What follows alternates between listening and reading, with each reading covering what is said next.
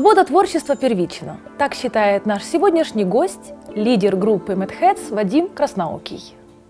Партнер програми концертно-продюсерський центр Gold Sound.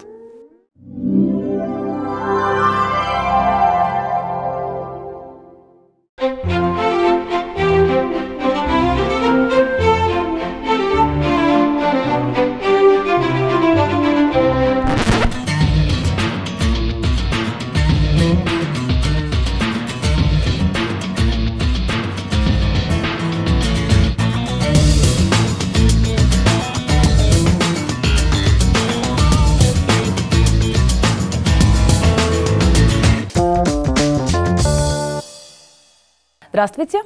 Вітаю вас. Вадим, я знаю, что 8 марта у вас э, состоится презентация новой программы вашей группы Madheads «Акустическая романтика». Расскажите, пожалуйста, более подробнее нам о ней. Зараз ми прийшли до такого бажання зробити щось м, зовсім інакше, те, чого ніколи не робили, обмежити кількість децибелів, обмежити кількість таких е, суто зовнішніх проявів нашої енергії і е, спрямувати її в зовсім інше русло.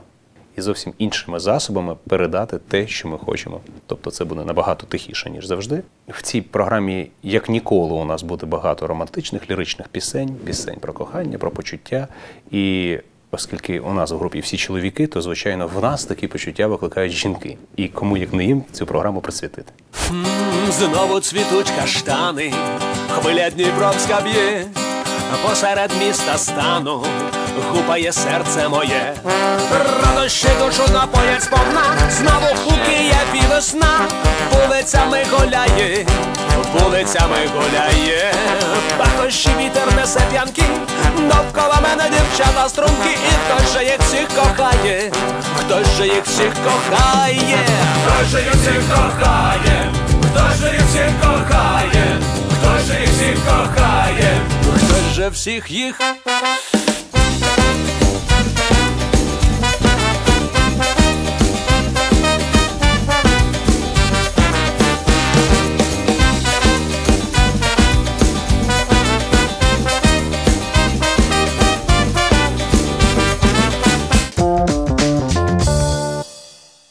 Вы много очень гастролируете. Как это сказывается на вашей семье, на сыне?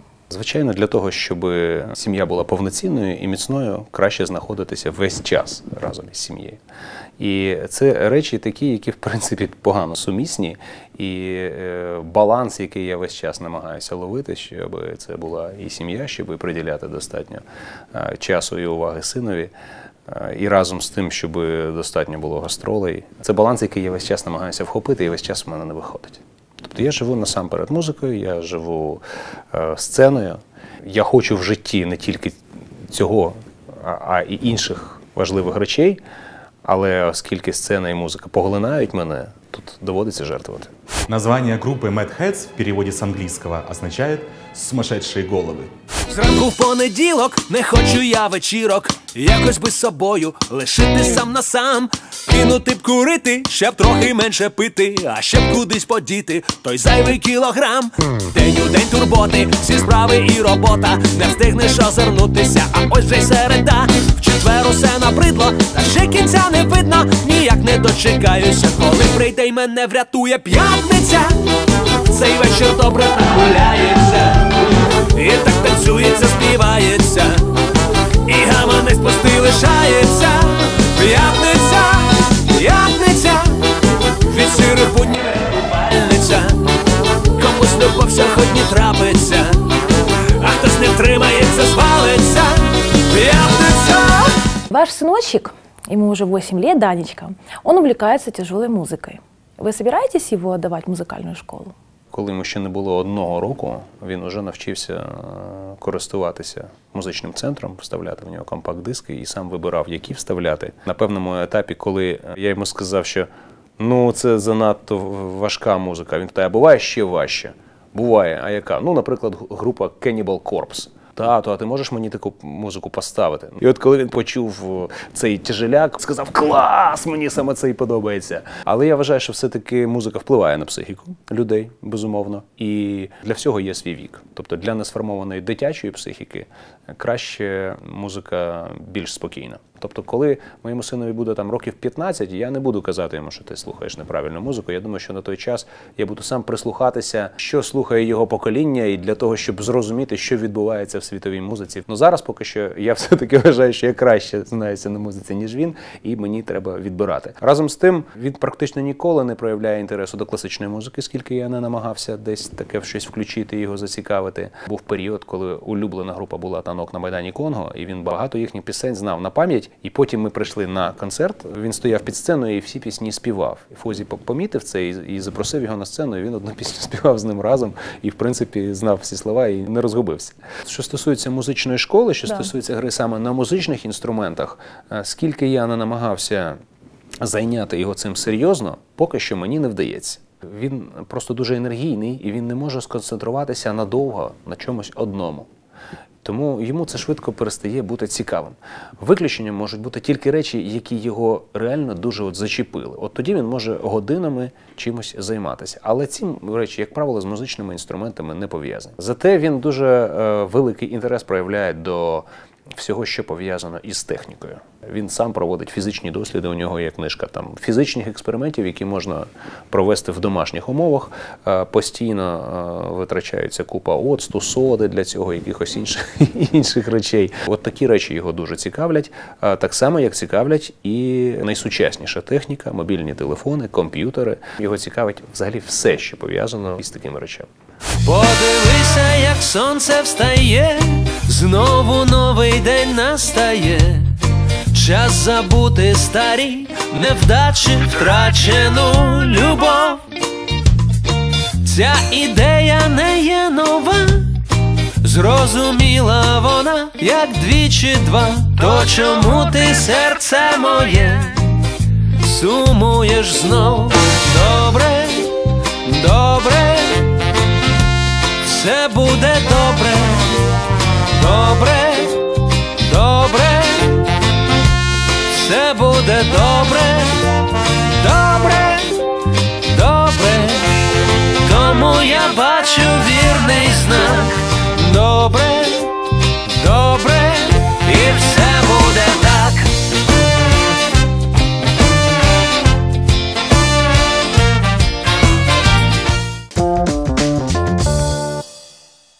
Вы закончили сварочный факультет КПИ. Эта профессия понадобилась в жизни, пригодилась? Ні. Я тепер інколи думаю про те, чи не дарма я витратив ці 5 років. Але справа в тому, що інакше не могло бути, тому що на той момент, в ті часи, в тих обставинах, е, нічого іншого не приходило в голову. Тобто життя так спрямовувало, що це виглядало ну, найбільш правильним кроком. І на той момент, можливо, так і було. Ну, наприклад, я е, музичну освіту маю тільки на рівні музичної школи дитячої, хоча це не так уже й мало, тому що це 8 років, при тому на скрипці. Але разом з тим е, скрипка мені не подобалась. І коли я закінчив музичну школу, після восьми років занять я віддав батькам документ, який мені там видали, повісив скрипку на стіну і сказав, що я більше ніколи в житті не буду займатися музикою. Минуло всього кілька місяців, і я вже е, опановував найпростіші акорди на гітарі і, і сам складав перші власні пісні.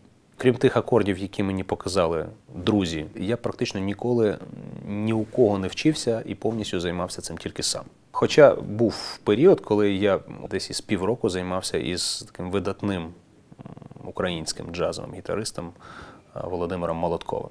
Але це вже було через багато років після того, як я взяв е, в першу руку гітару. А в основному моїми вчителями були ті музиканти, чию музику я любив, які мене заводили, і я хотів відтворити те, що робили вони.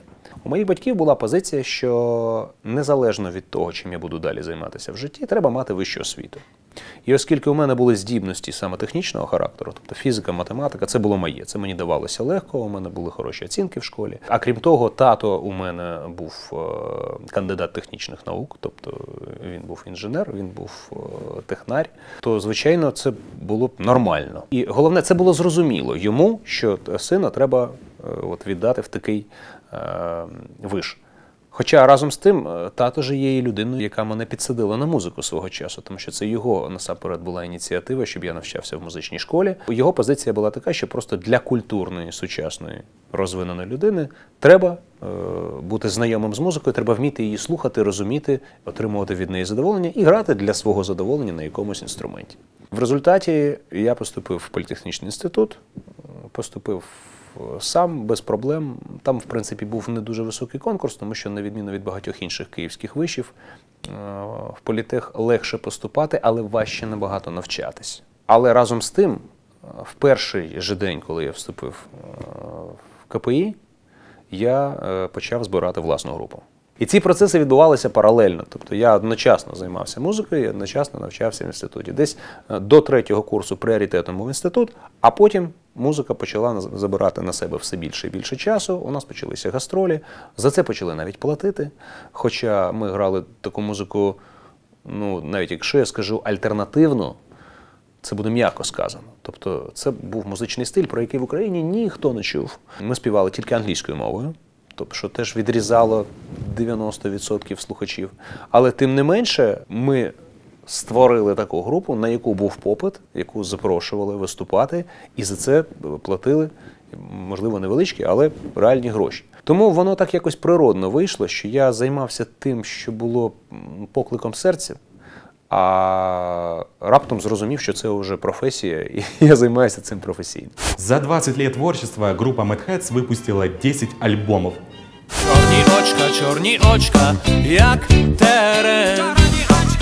Чорні очка, чорні очка, як терен, чорні очка, як терен, як терен, як терен, коли мися побере, побере, чорні очка, як терен, як терен, як терен, терен, коли мися побере, побере, поберемся навесні, навесні, навесні.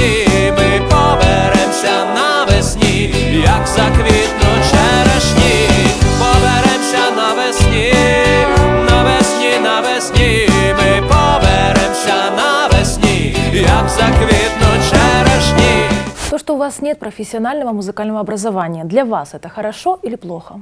Оскільки у мене немає е, професійної музичної освіти, мені здається, що це добре. Мені здається, що в мене не зашили якісь стереотипи, е, які мені би заважали робити музику так, як я хочу, е, суто інтуїтивно. Разом з тим, я користуюся тими знаннями, які в мене вклала дитяча музична школа. Це мені допомагає спілкуватися із тими музикантами, які е, сьогодні грають в моїй групі, і які закінчили консерваторію. То, в принципі, я думаю, що і вища музична освіта мені б не зашкодила. Хоча разом з тим, ті хлопці, які потрапили до мене, з якими ми працюємо, вони по-своєму дуже оригінальні. Тобто сказати однозначно, треба отримувати вищу музичну освіту чи не треба важко. Група Hats – постоянний учасник міжнародних фестивалей. Якщо раптом дощ не піде, барбекю з усіх нас буде, спека цілий день і всю ніч. Чи це місто є, чи велика піч, поки я пітнію вісні, дивний острів сниться мені, з пекла до раю тікаю. Подзвони мені, аж у вересні не шукай мене. Бо я на, бо я на морі, знаєш, де я є. А я на, а я на морі маєш безліч справ. А я на, а я на морі все життя відклав. Бо я на, бо я на морі.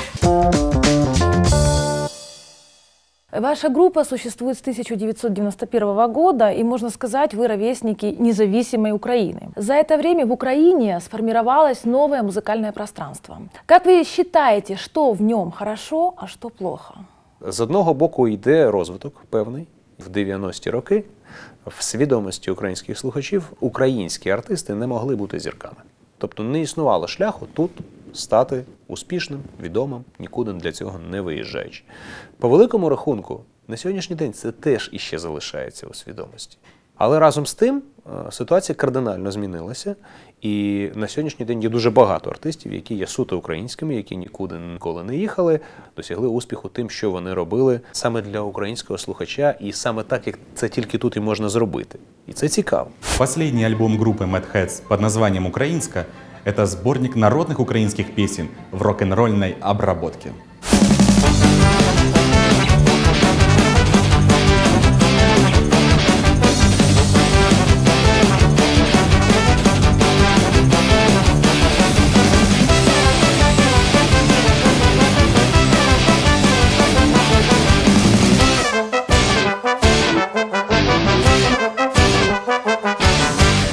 Батько в руки взяв на гайку, не стояла, щоб до ранку. Соловею саду тьох та тьох, канареєчка, Роман косить, Анка в'яже, Катерина загріба, Роман воли напуває, Ганна воду витяга. Ой, мама, люблю гриця, гриць на конику вертиться, грицю шапка до лиця, люблю гриця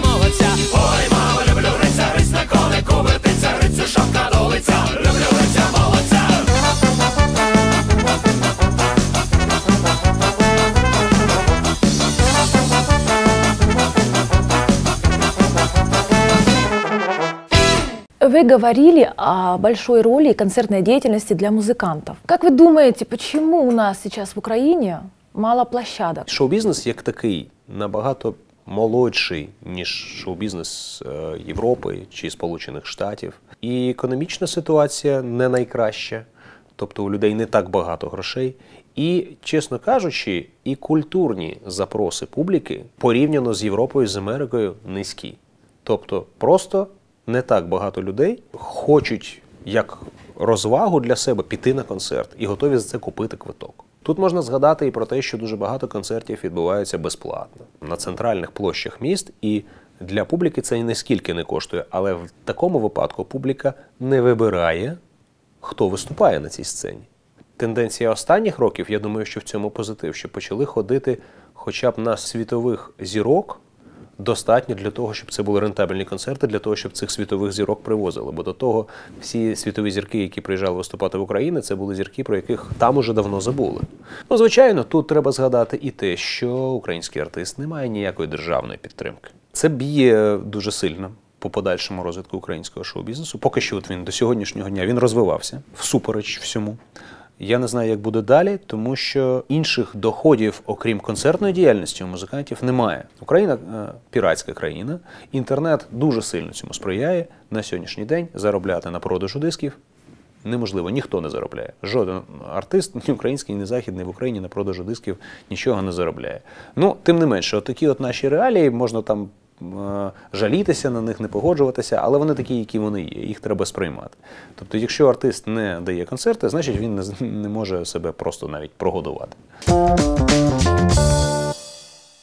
Вы строили свою карьеру, можно сказать, десятилетиями, и вам приходилось э, порой очень даже нелегко. Как это повлияло на вас, как на человека, как на музыканта? Я думаю, секрет основний в тому, що я завжди займався тим, що мені подобалося. Робота музиканта вона буває важка не тільки творчо, а й фізично, особливо це е, гастролі, е, тому що це е, багато треба подорожувати, не завжди подорожувати в комфортних умовах, багато часу жити в якихось готелях, знову ж таки, не обов'язково в комфортних умовах, виходити на сцени, які не завжди технічно готові, щоб на них виходили, і потрапляти в різні пригоди. І це все буває реально фізично важко, але якщо займаєшся тим, від чого кайфуєш, ну, 90% цієї важкості просто не помічаєш. Группа Mad Heads постоянно гастролирует как по Украине, так и за рубежом. Буває стіна переді мною, я в неї головою не пробити, не пройти. Страх мене тримає, духа обіймає, лють не можу стримати. Буває, що сил немає, все дарма. Буває, видно сонця і за хмар, та знаю, що все це тільки гра, і я у неї граю. І я у неї граю Как вы считаете, то, что на сегодняшний день в шоу-бизнесе нет никаких этичных ограничений, это хорошо или плохо? Не можна говорити тільки про шоу-бізнес, тому що шоу-бізнес є частиною людської культури. І це те, що відбувається з людською культурою в тій цивілізації, в якій ми живемо. Це не стосується тільки України. Це те, що відбувається зі світовою культурою і з людською цивілізацією. Я думаю, що тут є і свої плюси, і свої мінуси, тому що з одного боку етика це така штука, звичайно, вона повинна бути, але це повинен бути рівень внутрішньої культури. А коли мені хтось каже, як мені себе поводити, коли хтось бере на себе роль людини, яка буде визначати, то це не завжди добре. І, власне, популярна культура ХХ століття, вона значною мірою проти цієї цензури боролася. Вона боролася проти цензури церкви, вона боролася проти цензури держави, вона боролася проти цензури суспільства, в якому хтось на себе перебирав роль того, що таке добре і що таке погано. Разом з тим, е, ми бачимо, що оце звільнення від цих рамок, воно призводить до зубожіння культури, до її примітивізації, до того, що комерсанти, які правлять сучасною популярної культури, вони визначають, який продукт можна найкраще продати. Тобто орієнтуються на смаки найбільш широкої аудиторії, тобто найменш культурної. А зараз іще ми вже знаходимося в інформаційному суспільстві. Е, Якщо раніше щось те, що нас цікавило, треба було довго шукати цю інформацію, цю музику, то зараз. Все не- тільки доступне, а його так багато, що від нього треба закриватися. І люди починають закриватися від інформації, яка входить в них звідусіль у великій кількості. І пробити цю бронь можна тільки дуже провокативними речами. Я не можу сказати, що це добре. Це звичайно абсурдна ситуація, але вона об'єктивно така є. Цивілізація в тому вигляді, в якому вона зараз існує, вона не може довго існувати, тому що цей стан нестабільний. Це стосується не тільки культури, і економіки, і політики світової. Людство зміниться, воно вже починає змінюватися, і зміни ці будуть дуже радикальними. В 1991 году ребята были первыми в Украине, кто играл в стиле сайкабили. Сейчас Mad Hats объединяет разные стили, образуя свой собственный. І вже нічого не треба, і вже нічого не встиг. Здається, що всі проти тебе, а може, то ти проти них. Не можеш позбутися болю, не знаєш, чи прийде весна. Ти можеш не вірити долі, але в тебе вірить вона. То поки сонце сяє, поки вода тече. О, надія є. Лиха біда минає, просто повіру це. О, надія є. То поки сонце сяє, поки вода тече. О,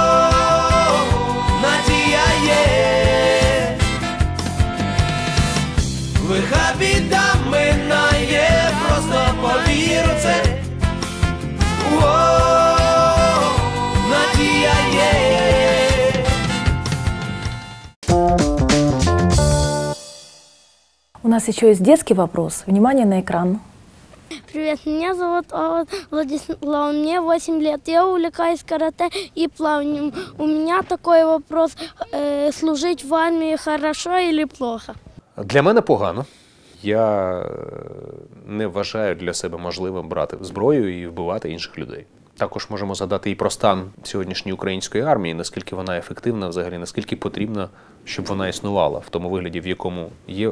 Разом з тим, я розумію, що є люди зовсім не такі, як я, що у кожного свої таланти. Деякі люди можуть реалізуватися максимально саме от у військовій справі. І потреба в таких людях є в світі. Якщо би ми говорили про професійну армію сильної держави, то я би сказав, що для деяких людей це може бути добре. І загалом, в цілому, для держави було би добре, щоб така армія існувала. Что на сегодняшний день в вашей жизни хорошо, а что плохо? Що би не сталося, я в першу чергу задаю собі питання, а що в цьому може бути доброго? І це дуже допомагає. Це допомагає, тому що дуже часто ті речі, які можуть нам здаватися поганими, насправді несуть нам якісь нові можливості. Якщо ж е, речі справді є поганими, то їх легше пережити таким чином. Я думаю, що оцей підхід і те, що я його розумію, і те, що намагаюся його в- житті втілювати, це добре. От об'єктивно погано і важко це втрата близької людини. Це коли відбувається, там вже нічого не можна зробити. Це треба просто пережити і якось вдосконалювати себе для того, щоб рухатися далі. Хоча і це теж е, можна повернути собі на користь, тому що дуже часто саме біль є мотивацією для того, щоб рухатися далі і розвиватися. А розвиток е, і рух це добре. Спасибо вам большое. Всего вам самого доброго, светлого. Удачи вам. Дякую вам, нехай щастить.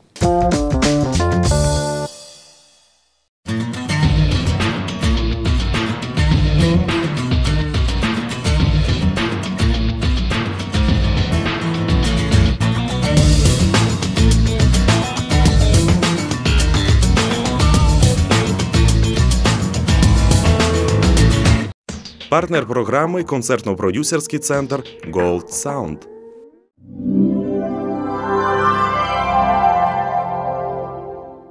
Крошка сын к отцу пришел и спросила Кроха, что такое хорошо и что такое плохо.